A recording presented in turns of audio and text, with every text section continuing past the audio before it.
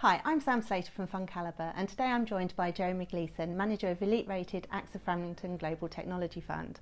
Thank you for joining us. You're welcome. Thank you. It's been 20 years now since the technology bubble burst. Mm-hmm. What's your abiding memory of that time?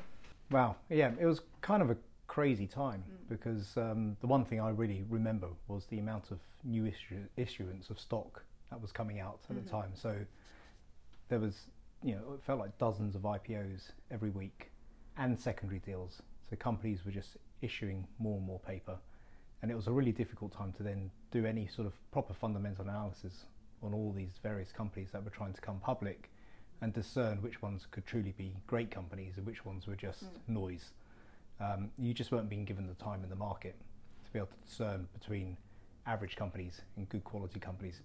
So it really turned that period of the market into a period where it was very hard to add any good quality value mm. as being an active fund manager.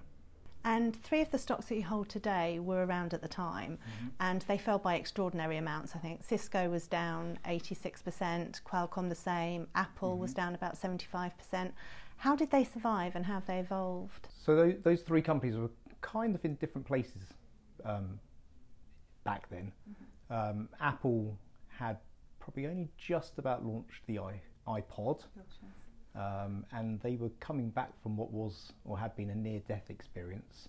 Steve Jobs had returned to the company mm-hmm. and was trying to, you know, really sort of be creative and innovative, innovative with with new product designs. Um, you remember those? We had those colourful iMacs, for example. Yes. um, so so yes, their share price fell a lot during that sort of dot com bubble bursting period, but actually just a few years after that, the signs of success with the iPod had started to build. And then subsequently, a few years after that, in 2007, was when they launched the first iPhone. Mm-hmm. And kind of, you could argue that the, you know the rest is history now in terms of where Apple is today. Um, Cisco, back in 2000, I think the world believed that this was the company that was going to, you know, just benefit solely because of the huge growth of the internet mm-hmm. and the huge demand that would be there for them and their networking equipment. Um, in reality, what happened was that, along with the likes of Hewlett Packard and Dell and Sun Micro computers, mm. um, a lot of capacity had been built out during the dot com bubble period, which subsequently had to be consumed mm. and digested. And Cisco suffered from that. So they saw sort of muted sales growth for many years after that. But now, actually, we added Cisco into the portfolio just four years ago. Oh, okay. Um, having not held it for some time, mm. we felt it was a cheap company that they'd actually delivered on a significant turnaround, and they'd actually changed the business quite significantly as well.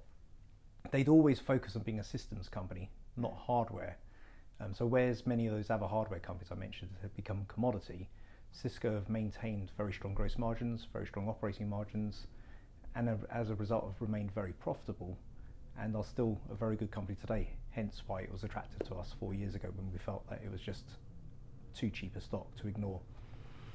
Qualcomm, um, who provide chips that go into mobile phones, mm-hmm. have benefited hugely from the adoption of smartphones. And we've held that in the portfolio for the 12 years that I've been running the. AXA Global Technology Fund. Um, it's not been the, the, the, best returner over that period of time. Some people would argue that it's been somewhat disappointing mm.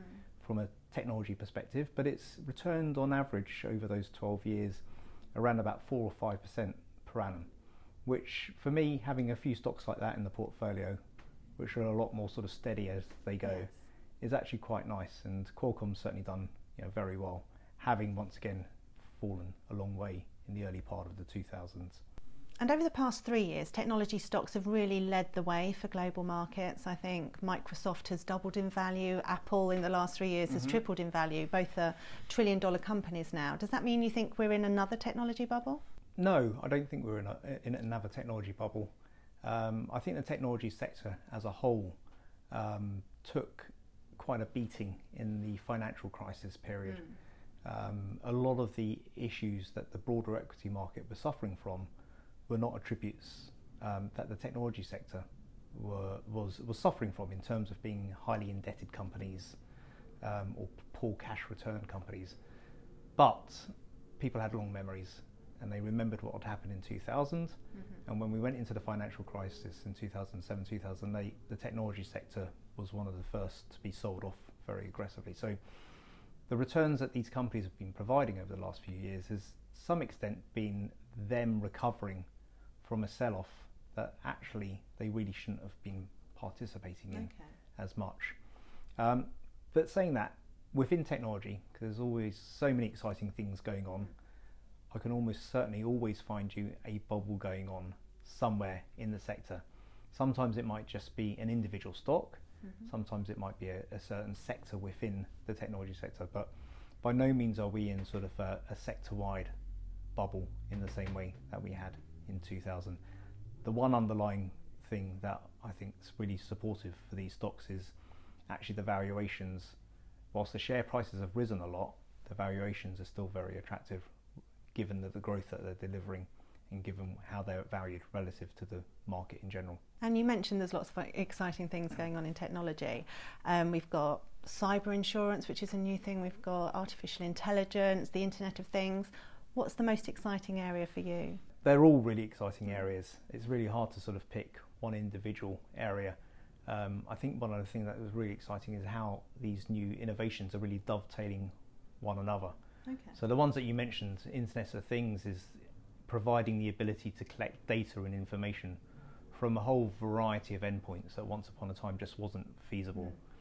Um, you know, eventually we'll be able to increasingly make decisions based on that information using artificial intelligence to make autonomous decisions for mm-hmm. us to make us all more efficient, whether we're at work or at home. And then, obviously, with all this data washing around, you need more cyber security to protect us um, from all the potential bad outcomes that could take place out there.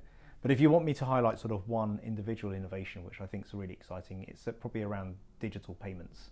Okay. And I do think that um, the really exciting thing about digital payments and the shift away from cash and check, you know, mm-hmm. believe it or not, they, mm-hmm. there are parts of the world that still use checks quite significantly, is the fact that people will increasingly become or be comfortable with a cashless society. Um, and one big driver for that, which isn't going away anytime soon, is demographics. Mm.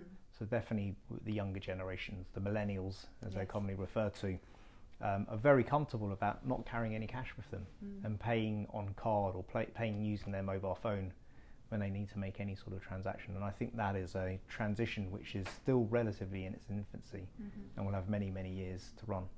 So there we invest in companies like Visa and PayPal, who are mm-hmm. both beneficiaries of that trend. That's really interesting. Thank you very much. I'm Sam Slator, and if you'd like to find out more about AXA Framlington Global Technology Fund, please go to fundcalibre.com.